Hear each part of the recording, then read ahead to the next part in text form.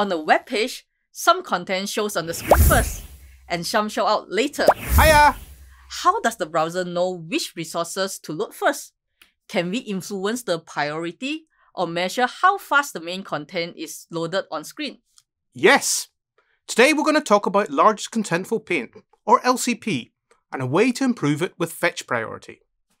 LCP is one of three core web vitals that Google uses to measure user experience on web pages. LCP is the loading metric and measures how long the page takes for the user to consider it mostly loaded. We define that as looking at when the largest bit of content is loaded. This is often an H1 element or a banner image, and images are what we're going to talk about here. You can find the LCP element in a number of different ways, but let's use the performance panel. After you record a trace, click on the LCP timing.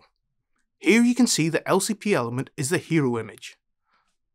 Images can take longer to display than text. For a start, the browser needs to find the image details in the HTML, then it needs to download the image, and finally it needs to display it. Images can be expensive to display, so often the browser will wait until it knows it really needs the image before going through that whole process. If we switch to the network panel, we can see the priority the image is assigned. Let's filter on images and further on just the image with hero in the name. Ensure the cache is disabled and let's switch to slow 3G to really slow this down so we can see what's happening. Here you can see the image is initially a low priority, but after the browser knows that it's an on-screen image, it jumps it up to high to really prioritize it. Oh, that's just a flash and it's easily missed. Yes, luckily there's a way to view both the initial and the final priority. In the network panel, you can enable the big request rows setting to view both. Hover over it and you'll get a tooltip as well. We also show this in the network track of a performance trace. That's good to know, but it still seems like there is an initial period when it's still set to low. So it's good that we can easily see the low priority, but how can we actually avoid that and make it high from the beginning? Aha! Let's talk about fetch priority next. Fetch priority is an API to allow you to tell the browser that a resource is higher or lower priority before it figures out for itself. For LCP images, developers probably know which one is the largest content when designing a page. So they can say, hey browser, trust me, this one is important. Don't wait around to start fetching it. This API might sound complicated, but it's not at all.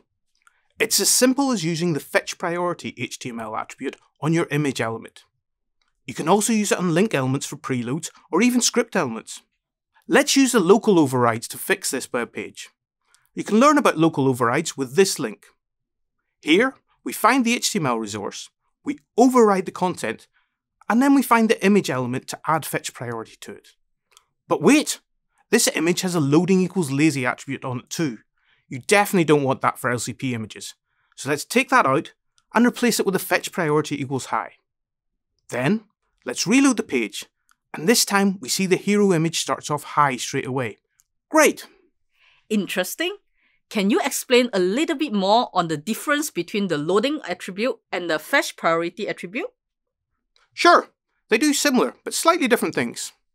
The loading attribute controls lazy loading, to tell the browser to hold off from loading content at all until it's on screen or close enough to that.